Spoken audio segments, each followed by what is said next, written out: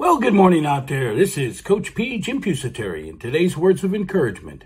The results are not the end, just a message on what you need to work on. Yes, so many people take the results of trying once or twice and say that's the end, saying I can't do it. And it's not the truth. It's a learning opportunity. You need to build off of each setback, off of each mistake, and move forward towards achieving and being successful. The results are not the end. They're just a message to you on what you need to work on to get better, to improve.